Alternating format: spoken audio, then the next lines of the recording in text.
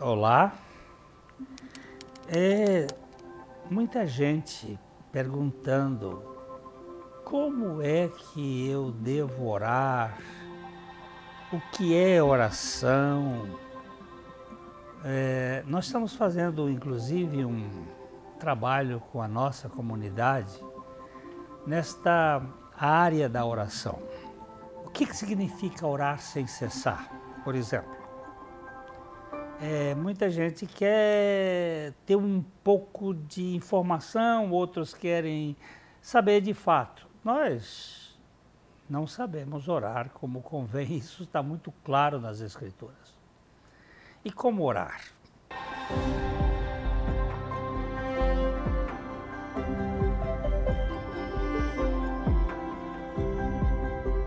A coisa mais importante que eu acho na oração é a entrega.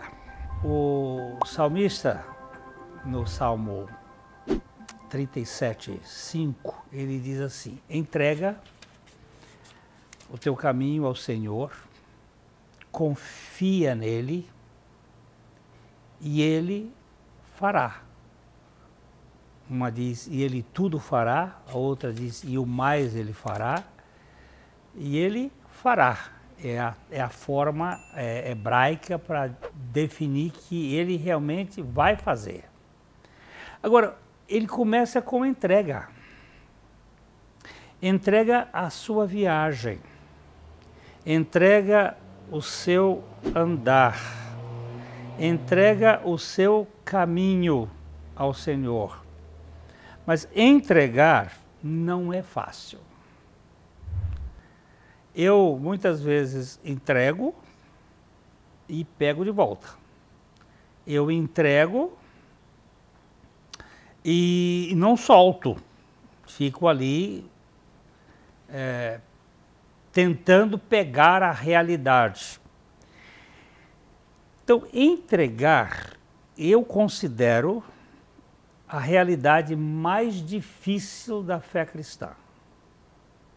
Porque no momento em que eu me entregar, eu vou entrar no descanso.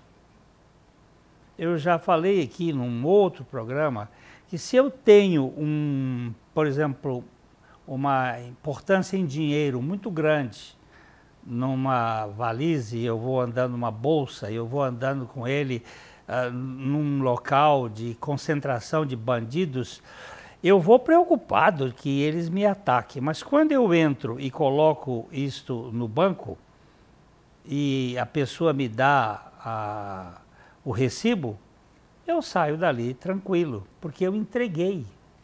Não é mais responsabilidade minha. Eu queria que você pensasse neste assunto. Você já entregou os seus problemas ao Senhor? Ou você fica entregando, entregando, entregando e até mesmo chamando atenção para a sua oração, que é como se isto fosse a realidade da oração em si. Você presta atenção que as orações é, de Jesus sempre foram muito curtas e muito definidas. Não significava que ele não estivesse em oração em comunhão, em relacionamento com o Pai. Mas as suas petições são curtas e muitas das petições bíblicas, elas são apenas uma frase, como é o caso de Maria no Caná em Caná da Galileia, ele diz assim, eles não têm mais vinho. Uh, há um, um homem de Deus que viveu na Inglaterra no século XIX, George Miller, que foi o fundador de um, de um orfanato, de um local de acolhimento de crianças, ele, ele fez mais de 50 mil orações que foram respondidas. Só uma dessas, dessa quantidade não teve a assinatura da resposta que ele tem anotado, porque aconteceu no dia da morte dele.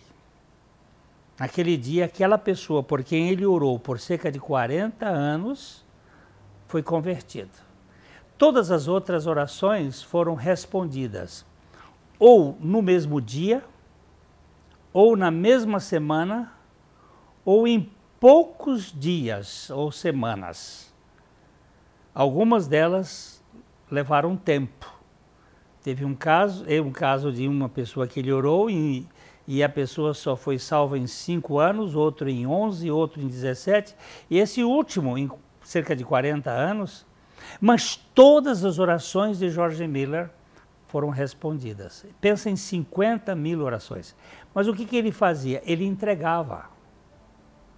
E depois da entrega, tinha um fenômeno, um fator importante que é a gratidão.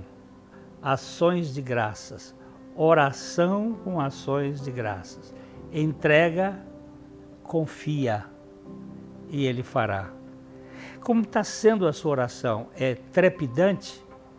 Eu vou falar isso num outro momento sobre aquela oração do sindicalista, aquele que quer pressionar de todos os modos que as coisas aconteçam. É, pense bem nisso, viu? Isso é importante. Entregar. Inscreva-se no nosso canal, ative o sininho para que você receba as notificações e os novos vídeos. Isso nos ajuda a poder a ter mais visibilidade. Fica aqui aquele abraço, sempre de coração para coração, e até a próxima.